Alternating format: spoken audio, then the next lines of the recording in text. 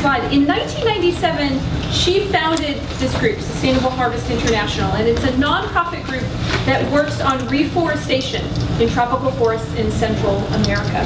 Um, you may wonder who she thinks she is that she gets to do that. Well, let me tell you.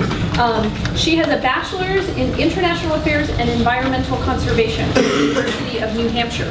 She sounds kind of like a liberal artsy kind of person. I'm just saying. Um, in the early 1990s, she joined the Peace Corps, and then she did this, and she has been working on issues around sustainability ever since. So she is here, perhaps quite talk to us about the 21st century challenge of creating a sustainable world. So please join me in welcoming Ms. Flo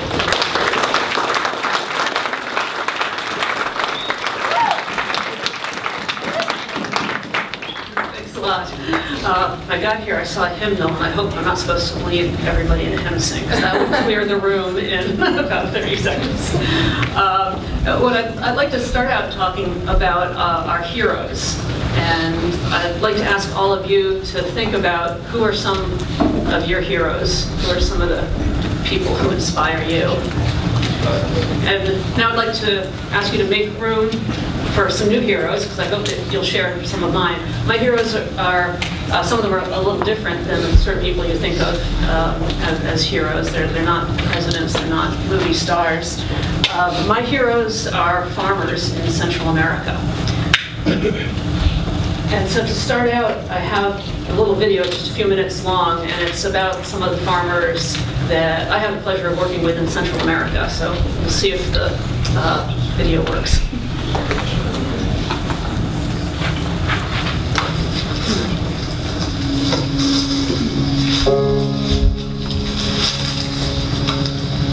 Me siento totalmente realizado.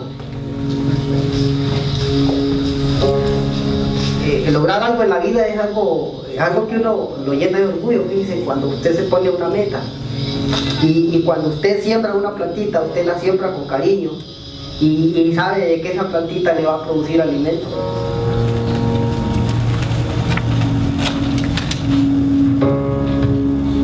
Cuando inicié yo era un campesino jornalero, eh, yo me dedicaba a ganar mis 120 lempiras diarias, 100 lempiras en aquel tiempo, hace cuatro años. Si queríamos comer una fruta, teníamos que comprarla. Sustainable Harvest International's five-phase program empowers families, individuals, and communities to preserve our planet's tropical forests while overcoming poverty.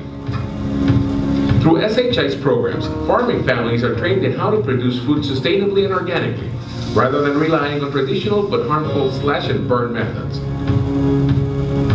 Tropical forests provide us with oxygen, stabilize the climate, and are home to over half of the species of life on the planet.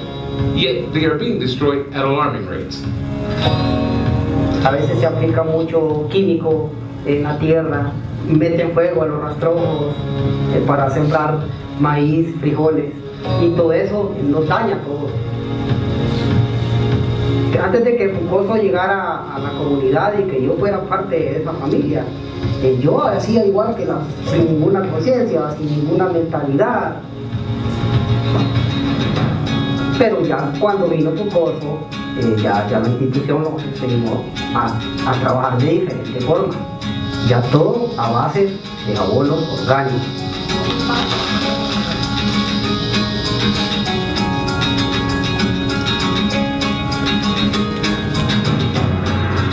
Eh, mi nombre es Doris Esmeralda Sandoval.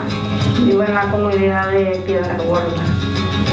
The families of Piedra Gorda are in the beginning phases of SHI's program and are just learning to work their lands with organic practices.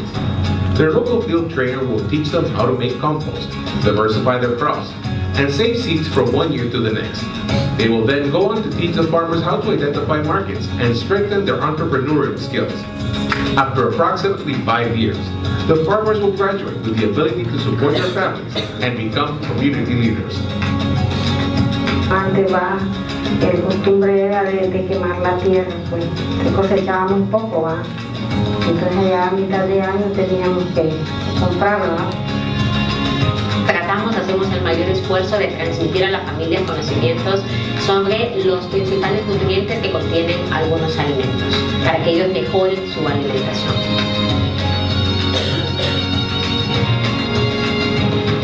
Queremos cambiar ya, queremos cosechar más.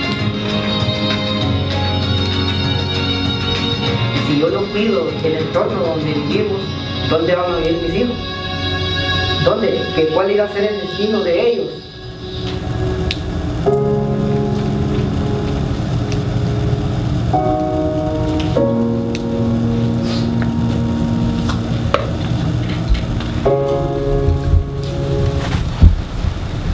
So those are some of my heroes in Honduras. And uh, anything else? Well, they, uh, Yes? They help clean the atmosphere. That's right, they help clean the atmosphere, they help to stabilize the climate, uh, they also help to keep water sources clean and free of siltation, which uh, helps to protect offshore fisheries, coral reefs. Uh, But it's, it's really, uh, it's the biodiversity that is of most interest to me, and, and saving these forests is what's always been um, my primary motivation for doing the work that I do. And we've already lost over half of the world's tropical forests, and the other half we're losing at the rate of one acre every second.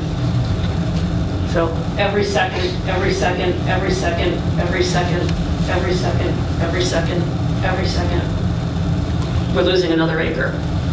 And with it, we're losing all of those things that these forests do for us, and we're losing all of that biodiversity. Uh, The world's tropical forests are home to over half the species of plants and animals in the world. And I admit, I tend to be drawn to the cute furry ones like the sloths and the howler monkeys and the bright colored birds and, and all of that. Uh, But there are also many other species that are important to us. And we are losing species as we lose the forest. So we don't know when we're going to be losing all of this incredible diversity of life that lives in these forests. But we are losing them rapidly. And some of them, uh, we, we might not care so much about. They're, they're not cute little monkeys. Uh, the fer-de-lance, for instance, uh, very poisonous snake.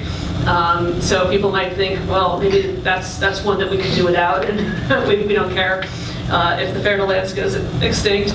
Uh, but what a lot of people don't know is that the venom of the fer-de-lance has been used to um, create medicine to help control um, blood pressure, which then led to ACE inhibitor drugs, which are the single best medicine for preventing hypertension and heart failure. And heart disease is still the leading killer in most developed nations. Um, But the death rate has dramatically gone down in recent decades. Um, And that's because of these medicines that have been developed that have their origins in the forest. So medicines like those that came from the venom of- of the the fer-de-lance. And in, in fact, most, I think 90% of our medicines do come from nature. Uh, Some of them we can only get from nature, and I think it's about 50% of them that come from tropical forests. Uh, So another example would uh, be the uh, vine here. That is uh, a large vine that's found in the rainforest. Indigenous people have used its crushed leaves and roots to make poison for hunting. Uh, But it's also used as a medicine, as a muscle relaxant, and in Parkinson's disease. So that's a- another uh, example. And then the last one, uh, this is the cinchona tree, uh, which is the source of quinine, which is what's used to to cure malaria. And again, we're losing seven species a day around the world, and a lot of it is because we're losing the habitat as we're losing places like the tropical forests. And one of the most troubling pieces to me is that a lot of the species, we're losing them before we've even discovered them. So we don't know what we're losing. We may be losing the cure for cancer, we may be losing the cure for AIDS, we, we don't, we don't know. Um, And I promise, my talk will get more upbeat. But I want to lay out the problems first. So, for all these reasons, I've been interested all of my life in tropical forests, and and so I started out looking at, at where they are, and you know, logically enough, they're in the tropics. And so these dark green areas are where the world's uh, tropical rainforests are today. And then if you look at those areas where forests are, and you compare it with where people are practicing shifting cultivation still, you find that it, it- it's in the same places. And by shifting cultivation, um, I'm talking mostly about slash and burn farming. Um, Are any of you familiar with slash and burn farming? Okay, few- few of you are. Um, For those of you who aren't, it's pretty much what it sounds like. A farmer cuts down an area of forest and burns it, and that ash is left and helps the crops grow for maybe a year. But then the ash is washed away, the topsoil is washed away, and the farmer has to pick up, move to a new area of forest, cut that, and, and burn that. And I think it probably worked well when it was a small indigenous population, but now uh, the land never is able to recuperate. There's not a lot of topsoil in the tropics to begin with. So a farmer goes back every few years and repeats this cycle, and eventually there's no topsoil left at all. The crops won't grow anymore. The forest won't grow back anymore. And then you find that where we had, have forests, and then we have this shifting cultivation like the slash and burn farming, that that leads to desertification. And so this is showing areas where there wasn't desert and humans are turning the land to desert because of their practices like the slash and burn farming.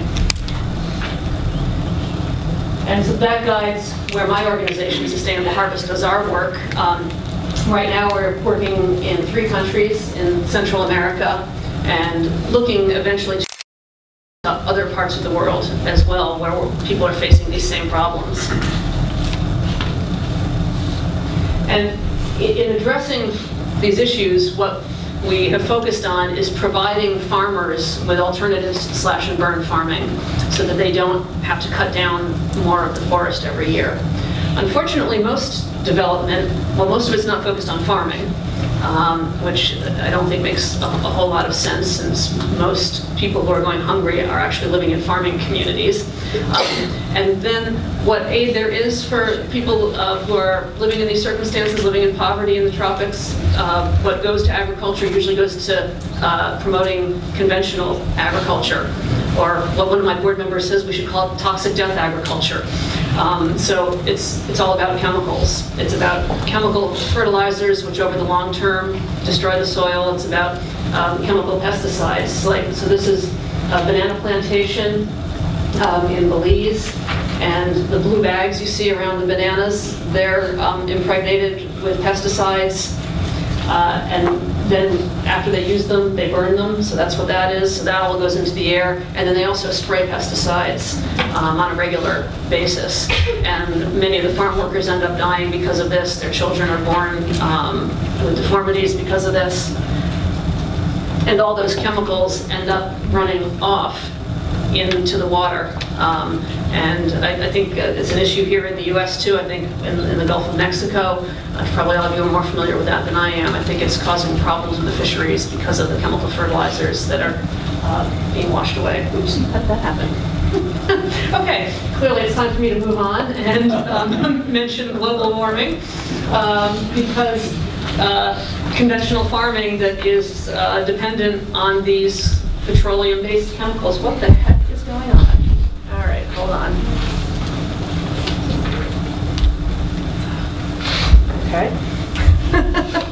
Um, It's a significant cause of global warming, um, the burning of forests for agriculture and the production of the the chemicals that are used are all significant contributors to to global warming. So these are all reasons that our organization, Sustainable Harvest, doesn't promote conventional farming. We instead promote a different kind of farming. Um, so now here's where we get to the happy part of the presentation. uh, this is a farm in Panama, and this is typical of what the farms look like after a farmer has worked with our program, where they'll, they'll take land that has been degraded and turn it into this. This is a piece of land um, belongs to a man named Edilberto, and he was given this land so he could build a house on it. Um, but his family gave it to him. But they told him he should never expect to grow any crops on this land because the topsoil was all gone. Um, and a few years later, after being told nothing would grow on it, you can see everything uh, that Edilberto has growing on the land. And so the, here's and his family. Uh, they joined our program because they wanted to see if they could feed themselves and do it in a way that protected the environment, that improved the environment. And the way our program works is we hire local trainers to work with the farmers for five years and take them through our five-phase program to transition away from slash and burn farming, away from chemical-dependent farming to sustainable organic farming. Um, so this is Maribel. Uh, Maribel is one of our field trainers in Panama. And Maribel works with around 30 farmers who have asked to work with us. And she visits each of those farmers every week or two for that five-year period and provides them um, with hands-on technical assistance as well as workshops for the community uh, to learn new farming techniques. And the farmers are really grateful for the assistance that she provides. Um, and Alberto, uh, in talking about it, said he's grateful to Sustainable Harvest for everything I've gotten. My life has changed since you arrived. All of my accomplishments, I owe the support I received from this organization. Bless you. And that's because of the assistance that he's been receiving for years from Maribel to make his farm successful. The way our field trainers work with the families is they start out by just planning with them what they want to accomplish. Uh, they help them sketch out uh, pictures of what their farm looks like when they start, what they want it to look like eventually. And then they teach them different ways to start uh, improving their farm. And there's two basic concepts behind it. Uh, one of them is the idea that healthy soils create healthy crops, which create healthy families, which creates uh, a healthy planet. So the farmers learn lots of different ways to build up their soils and to stop soils from washing away. And then bit by bit, they add more pieces to it. So that, uh, there's Alberto and his son with their fish pond. So that's one piece of the farm. And uh, I always like to ask if anybody can guess what uh, Alberto's son is doing in this picture. People rarely get it. Every once in a while. Hearing murmuring. okay, he's feeding the fish. And the way he's feeding the fish is that uh, his dad, Alberto, has cut that big termite nest out of a tree and propped it up over the fish pond. And it's his son's job every day to go and beat on the termite nest with a stick. Great job for a little boy, huh? My son's nine years old, would love it if I told him he had to beat on something with a stick for one of his chores. um, and that knocks the termites into the water, and the fish eat the termites, and the fish don't eat at Alberto's house, and everybody except for the termites. And don't worry, they're not endangered. and all the pieces of the farm work together, so here's the fish pond, and in front of us, and then behind us, you can see that's a new rice paddy. And so the water from the fish pond then goes to the rice paddy, and it takes all the nutrients from the fish pond as well as the water down to the rice paddy. So they support each other in that way. After the rice paddy, then the water goes to the vegetables and, and to other crops. So it, it, it serves a variety of different purposes. There's the rice paddy, there's the corn, um, and Edilberto, by learning these new techniques over time, he finds that he can uh, double, triple, quadruple the production of his traditional staple crops by growing with these sustainable practices. And it allows him to grow on that same piece of land by his house year after year after year for generations to come, improving the land instead of degrading it and not having to cut down any more of the rainforest. And as um, Maribel helps Adalberto continue along in the program. She helps him continue to diversify the farm. And I'd say that's the other key part of our work.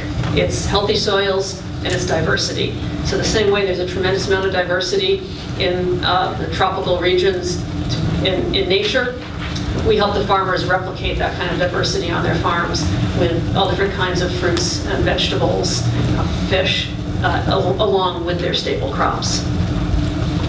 So that leads to Adalberto and his family not only eating rice and beans, which is all they had to eat when they started with the program, but now um, they still eat rice and beans, but along with it they have this variety of fruits and vegetables and other things for a healthy, balanced diet. And they cook their food on a new stove now. Um, when the families start working with us, they're usually cooking over an open fire. Um, and so that uses a lot of firewood. They have to cut down 10 big rainforest trees every year to do their cooking. And in addition to that, it also fills the house with smoke. And so particularly the women who usually do most of the cooking are breathing that smoke all the time. Uh, they say it's the equivalent of smoking five packs of cigarettes a day. Not surprisingly, uh, millions of women around the world die young from complications from smoke inhalation from cooking over these open fires. So we help them to build simple wood conserving stoves. They can build with local materials. They use about one third or one quarter of the firewood of the open fire, um, and they have either a chimney or a secondary combustion process that gets rid of that smoke. So at the same time that it's saving the trees, it's also saving the lives of the women. Uh, as I said, we help the farmers to diversify their farms. And part of that is putting trees back onto the farms. And uh, so it could be a coconut tree in this case. It could be a variety of fruit trees, spice trees, hardwood trees, trees that produce nuts, um, uh, trees that shade other crops that grow better in the shade, and, or some trees that are, are planted uh, just to improve the environment and provide habitat for wildlife that creates a healthy ecosystem on the farm. And then all the pieces work together, the, the rice paddy, the, the fruit trees, the peach palm. Over there he's got yams growing, he's got cassava, uh, he's got uh, vegetables growing off to the other side, like garden vegetables like tomatoes and peppers and so on. And so it's providing a diverse diet for him. It's providing uh, biodiversity that creates a healthy ecosystem on the farm. And one of the ways that the farmers grow the crops uh, is in what we call multi-story plantations. So have any of you heard of shade coffee? Yeah? Okay, a lot of you have. Uh, so what that is, is uh, coffee naturally grows in the shade of other trees in the forest. Um, there have been varieties developed to grow in full sun so that you don't have to have those pesky trees in the way and you can have just coffee. But when you do that, then you have to have a lot of chemicals to uh, maintain the coffee, and then you have all the chemicals running off and causing all the problems we talked about. So we help the farmers to grow coffee the way uh, it grows in nature, which is in the shade of other trees. And they don't produce as much coffee, but they produce more overall because in addition to the coffee, they're also producing mahogany and rosewood and oranges and vanilla pepper and cinnamon and all these other crops that can grow together um, in, in this forest type environment. And I really like this, this growing system because it provides uh, economic stability together with ecological stability. From an ecological standpoint, it's pretty much the same as a natural forest. It's stabilizing the climate, it's providing habitat to wildlife, in fact, they found 90% of the biodiversity of bird species in these plantations that they find in the natural forest. So it does all those things, but at the same time, it's producing a variety of products for the farmer. Um, so the farmer always has something to eat, something to sell, and they're not relying on one crop. So if the coffee prices bottom out, as they do occasionally, the farmer isn't left with no income because there's a mahogany tree to sell, there's bananas to sell, there, there's always something. Uh, then all of this diversity creates a healthy habitat for wildlife, as I said. And so uh, Maribel has sent some photos of some of the wildlife that she's found on the farms. And this, this is my favorite. Uh, so these are uh, a pair of hummingbirds that she found living on one of the farms. She's also uh, sent pictures of butterflies and uh, all, all sorts of different wildlife species that now live on the farm, and they and they all work with the farm. Alberto says these are his workers. Uh, he doesn't have to hire so many workers to come and work on his farm because he's instead of hiring somebody to spray a pesticide, he's got the birds that are uh, eating the insects that are pollinating the plants. He's he's got uh, a healthy balance, just like in nature he's got that on his farm. And so nature is doing a lot of the work for him now that he's established this healthy ecosystem on his farm. Oh, and speaking of uh, species, we have a lot of native species that come back to the farms, um, but we also do have uh, one invasive species that comes in once in a while. Um, that's the gringos. Um, uh, so we do have groups of volunteers that come down. There's a group of volunteers um, at Alberto's home and uh, out in, in, one of his fields. And the volunteers will come down and they'll uh, spend usually about a week in one of the communities and uh, they help out with a variety of different projects. Uh, in this case, they were helping to plant tree seedlings, they helped to dig rice paddies and fish ponds. Wherever extra hands are needed, the volunteers get plugged in. And uh, because we have such a long-term relationship with the community, the volunteers are accepted as part of the community while they're there in a way that would be almost impossible otherwise. Um, and working side by side with the farmers, um, Usually the volunteers honestly don't uh, get as much done as the local people would, but it's an opportunity to work together and uh, work side by side and get to know each other. And so the volunteers that have gone with us have said it's a really a life-changing experience of really getting a sense of what it's like to live and work in one of these communities. And the farmers really appreciate it also uh, because they say it makes them feel like what they're doing is important, that volunteers are willing to leave more comfortable lives in the U.S. Um, to go down and work with the farmers on, on their projects. So the farmers really appreciate it. It makes them feel like they matter. What they're doing is important. And the gringos are usually pretty entertaining too. then the last phase of work that we do with the farmers is focused on helping them increase the cash income from their farms. Once they're feeding themselves well, we also help them add crops that will uh, bring in money so they can buy clothes, send their kids to school, that sort of thing. So here's Adalberto again, and he's harvesting some uh, culantro.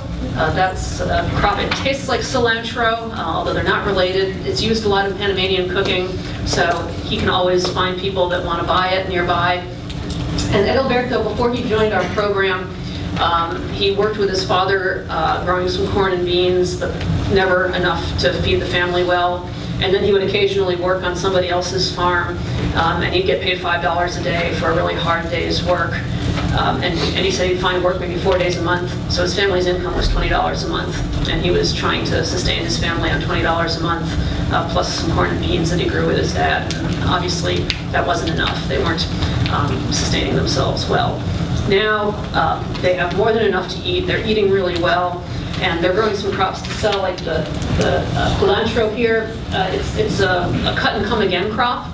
Um, so he can go through every six weeks, cut off all the leaves, bunch them up, sell them, and then they grow back um, by themselves. He doesn't have to replant. They maintain themselves there. It's by the river, which floods occasionally, which would kill some crops, but the cilantro likes it, brings more nutrients in for it. Um, and instead of making $20 a month like he did working on other people's farms, just the culantro, when he sells it every six weeks, he makes $150 selling just the culantro. And that's one of about 30 different crops that he's growing. Again, mostly to feed his family, but several of them to sell uh, to have more income. And then we, we help the farmers uh, in different ways of selling their crops. This is in Panama. This is the first environmental farming fair that they had in this area. And so people from all around came to see what the crops were that were being grown and to hear about how they were being grown working with the environment instead of destroying the environment. And they also go to other uh, fairs that aren't necessarily having an environmental focus, but they set up their stand to show just how well they can produce using the environmental techniques that they've used and to talk about how they're preserving the environment um, with the way that they're farming now. And then at the end of the program, um, and the other farmers get a little bit of final training about how to be leaders in their community, how to share what they've learned with other farmers. And then at that point, when they have all the pieces in place to continue on their own, be successful going forward on their own, and, and to share what they've learned with others, then they graduate from our program. And so they, they get a diploma, um, which is proudly hanging on Adalberto's wall now that he's graduated, and he's continuing along on his own. And just lastly, I'll, I'll just mention what happens after the farmers graduate. Uh, people often ask about that. And so I'll just mention this, the Rodriguez family. They graduated from our program seven years ago. Um, and I went back to visit them a few months ago, and I hadn't seen them in seven years.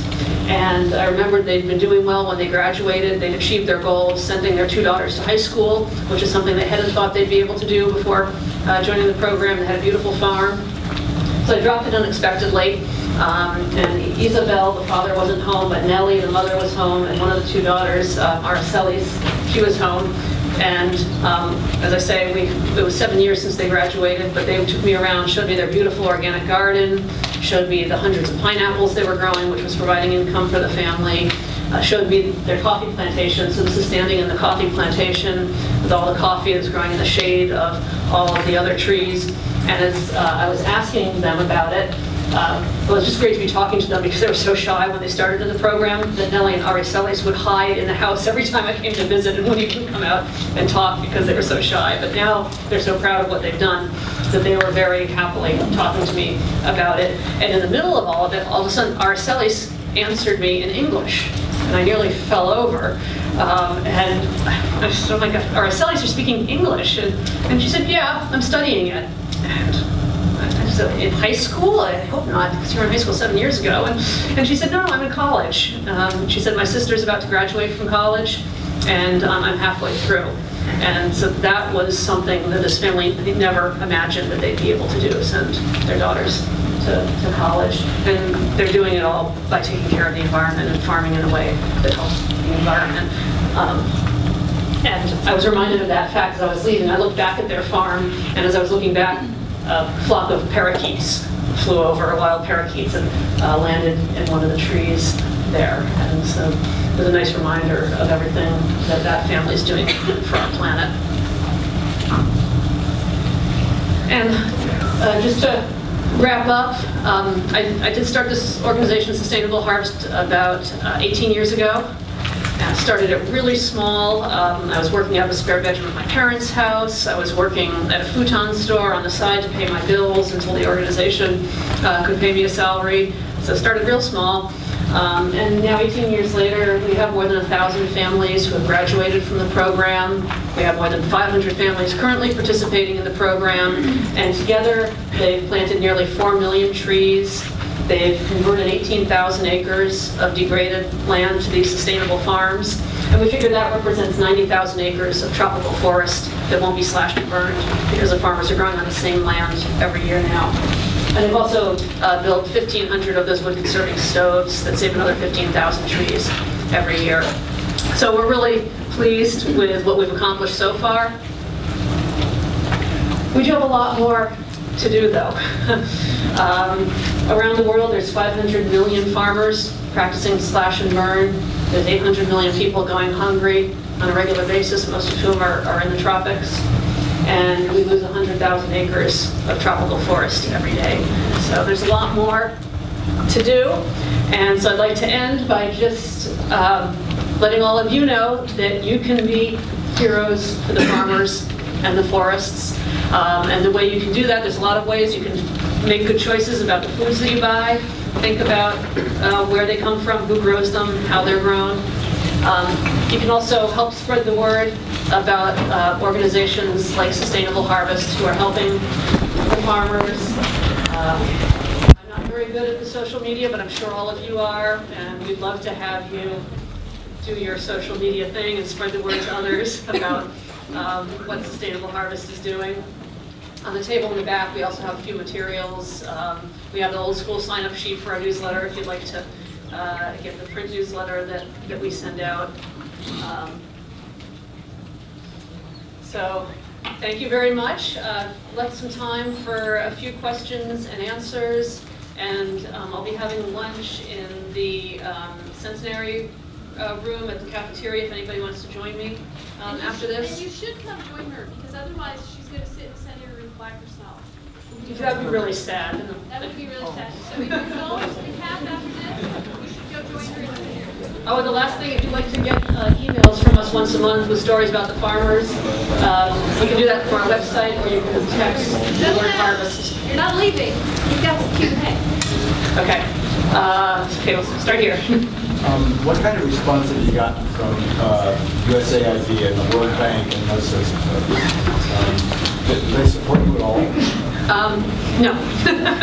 um, I, I, I'm a hopeless optimist, and so I, I really hope that eventually we are going to come together uh, on this. What I've run into with places like USAID and the World Bank and these bigger institutions um, is that they're looking uh, for quick fixes. They don't want to hear about something that takes five years. Um, they're looking for simple things. So we're like one crop, they want to hear about markets, commodity crops.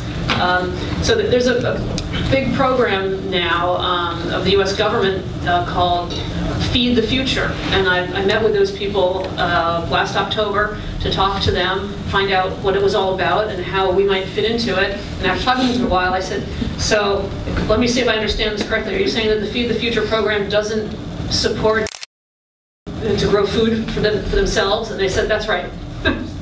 Nothing, it's all for growing commodities, um, which by its nature is mostly gonna be with, with lots of, of chemicals and machines. And, um, So I hope that will change. Um, That's something um, that we're working on going forward, and and then in my role at the organization, I'm working on, um, is, is trying to collect more data to, to prove the value uh, of this model and to encourage some of those bigger players to, to get, get behind it and shift their resources in that direction. Yes? Um, if we wanted to, how could we get involved in your program and go to a country or whatever help? Okay, um, so if you'd like to get involved with Sustainable Harvest and, and go to one of the countries where we work, there's um, some different ways that you can do that. Um, if you go to our website, sustainableharvest.org, you'll find information about that. Um, How did you even have the nerve to say, I can do this out of my parents' garden? Okay, um, so, so long answer, I'm gonna try to get it down to the short numb of the situation. Um, Well, right before starting Sustainable Harvest, I was working for a different organization that um, was not doing what it said it was doing. Um, And I tried to turn things around there, and through them, I hired a couple of people in Honduras uh, to start a program. And when I came back from that, um, I was told by the founder and director of that organization um, that I should stop trying to set up a program as the Latin American program director for the organization, and I should just uh, raise money and let him worry about where it was spent, and I should tell the guys in Honduras not to expect to get paid, and so on. And um, so at that point, I resigned from that organization and, uh, and told myself, it's now or never. I've been thinking about starting a nonprofit. I probably never would have felt ready or never would have felt capable of doing it, except now I felt personally responsible to the guys I had hired in Honduras and, and the families there. So I said, okay, it's now or never. And um, I think it was really meant to be because um, I, since it didn't seem possible um, with no resources, limited experience, so I told myself that I could have 24 hours to figure out a reasonable way to do this. And that if I couldn't figure it out in 24 hours, I wasn't going to waste more time, and that I would just face reality and get a real job and set the idealism aside. Um, and that one day that I gave myself, I got an email from a man in Switzerland who I had met um, at that last trip down to Central America. He was a tourist with his friends. They wanted to see the real Panama, and I told them if they paid for the rental car so I didn't have to ride the bus, that I would take them out to see the real Panama. And never expected to hear from them again. He emailed me on this exact day to ask what was happening. I told him what was happening. He said, well, open a bank account for your new nonprofit and I'll wire you some money tomorrow. Um, and the next day there was $6,000 um, in that bank account.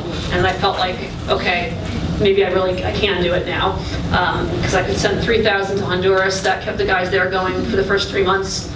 I used the other 3,000 um, to pay the fees to get incorporated, get tax exempt status. I literally, I went to the library and took out a book, How to Start a New Nonprofit, and went chapter by chapter through this book of how to start a new nonprofit. Um, Printed up letterhead, sent letters to every person I'd ever met in my entire life asking for a donation, um, and, and then sort of bit by bit built it up from there, flying by the seat of my pants, figuring out as I went along, bringing in other people who knew the things that I didn't know. Um, so it's hard to give a short answer, but that's more or less. And I, anybody, anybody can do it. I had some things going for me, um, but yeah.